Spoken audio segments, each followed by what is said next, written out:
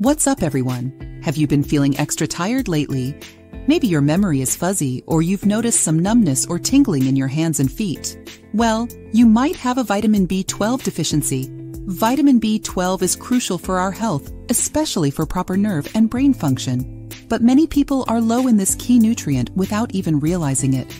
In this video, I'm going to walk you through everything you need to know about vitamin B12, what it does, symptoms of deficiency, why it's so common these days, and how to make sure you're getting enough. So grab a pen and paper to jot down some notes, because by the end of this video, you'll be a vitamin B12 expert.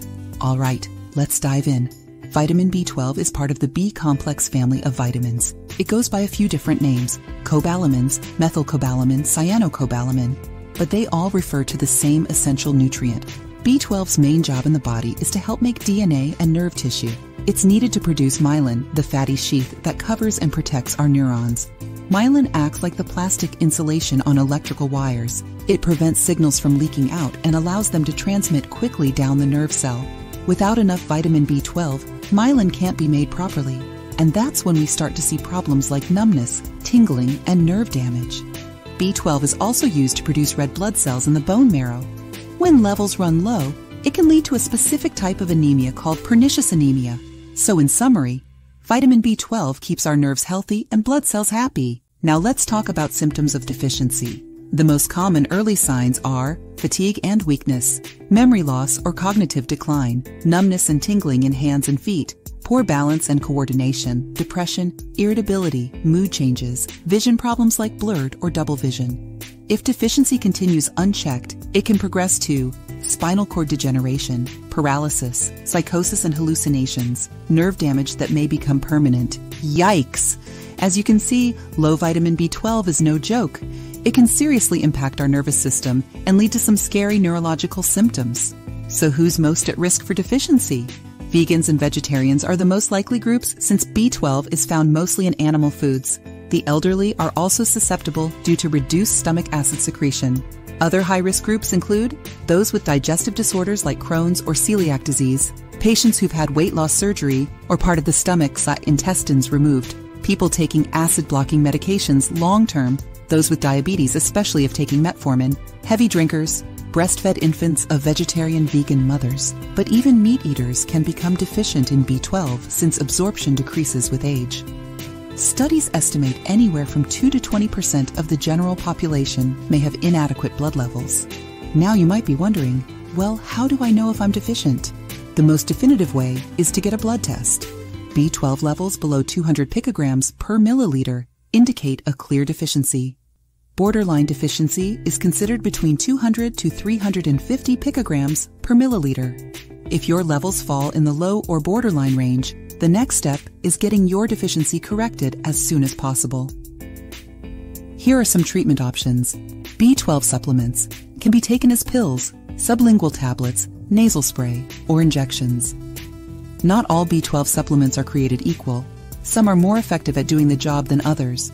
We're suggesting on your screen right now and also in the description of this video the best B12 supplements we know. They can help you maintain adequate levels of this important vitamin in your body fortified foods, cereals, plant based milks, nutritional yeast, dietary changes, eating more B12 rich foods like meat, eggs, dairy. For mild deficiency, high dose oral supplements or fortified foods may be enough to restore levels. But if your deficiency is severe or you have absorption issues, B12 injections will work much faster. Shots allow the vitamin to enter the bloodstream directly, bypassing the digestive tract. Most people need one injection per week for one to two months to replenish stores.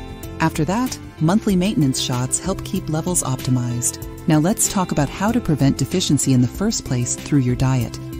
Animal foods are the best source of B12 since they actually produce it internally. The top dietary sources are liver and other organ meats, shellfish, clams, oysters, mussels, fish, salmon, tuna, trout, mackerel, red meat, eggs and dairy products, fortified foods, cereals, plant milks. Aim for at least two to three servings per day of these B12 containing foods. If you follow a vegetarian diet, you'll need to be diligent about including eggs, dairy, and fortified foods regularly.